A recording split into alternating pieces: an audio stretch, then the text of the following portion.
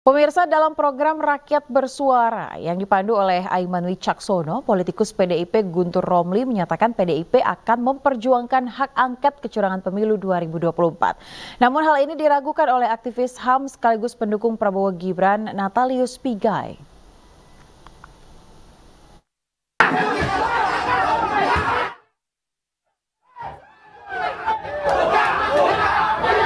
Guntur, kalau di 01 kan sudah jelas tuh sekjen-sekjennya ngomong.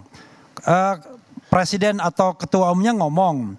Nah yang ditunggu sebenarnya dari 01 itu adalah kepemimpinan PDIP. Karena kalau cuma 01 yang mengusulkan tidak akan lolos hak angket itu karena hmm. cuma 167 kursi. Okay. Tapi kalau ditambah PDIP yang 128 kursi, Walaupun misalnya P3 nggak mau ikut, itu mayoritas sudah. Kalau P3 ikut, lebih mayoritas lagi. Karena kalau tidak mayoritas, ya omon-omon saja. Ya. Karena itu perlu Dan tiga, mayoritas. tiga partai di uh, eh, 01 sudah berkomitmen. Sudah kan. Tinggal menunggu uh, PDI Perjuangan. Sudah ketemu kan. Di PDIP juga berkomitmen. Untuk Jadi gini, kalau soal bicara tentang hak angket, saya kira hak angket adalah suatu hak yang dimiliki oleh DPR. Ini jangan definisi yang lagi nih. Bertanya, bukan dengan bertanya kepada kebijakan yang kebijakan pemerintah yang di, dianggap menyimpang. Oke, kita setuju. Kemudian itu hak yang dimiliki oleh mereka dan partai-partai politik. Gini aja, saya mau sampaikan. Pak Prabowo sudah membuka pintu kita untuk membangun Indonesia yang baik, bersama pelangi Indonesia semua warna aduh harus hadir. Warna partai politik warna suku warna agama warna bangsa. Itu yang pertama. Yang kedua maksudnya kalau apa? mau nggak kalau usah mau angket udah bukan, kita guyup aja begini gitu. begini nggak maksudnya apa ini? Dijelasin dulu bang. Begini semua calon presiden saya mau sampaikan. Pak Anies pernah dipanggil KPK Pak Muhaimin pernah dipanggil KPK Pak Ganjar pernah dipanggil KPK.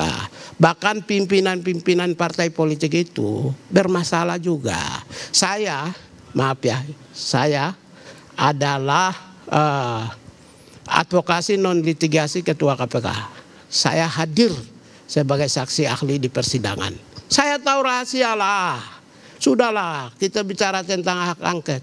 Nanti sebentar juga lebur kok, hilang juga kok. Mari kita sekarang bersama-sama membangun Indonesia. Ini, ngomong tentang food estate. Bukan. Oh, bukan. Kita bicara tentang membangun Indonesia yang bersih dan berwibawa secara baik-baik bersama. Nah, ini, ini saya jadi khawatir. Ini karena semuanya ada kasus, lalu kemudian ayo kita guyup, selesaikan, lupakan saya kecurangan. Saya nggak ngomong ya, dong. itu Pak Aiman yang ngomong ya. Nggak, kan ini arahnya ke sana.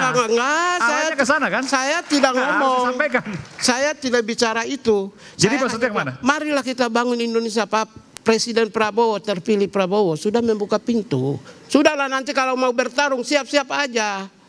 Siap-siap aja 2029. Baru, baru. Mari kita bertarung lagi berikut. Dan PDI Perjuangan tidak hanya membuka hak angket soal pemilu, soal pembelian pesawat Mirit juga. Itu akan kita buka. Oh, ini nanti angketnya ya. akan seperti Syukur-syukur Myrates, Ford Estate, kita akan dorong ke pesawat Qatar. Silakan.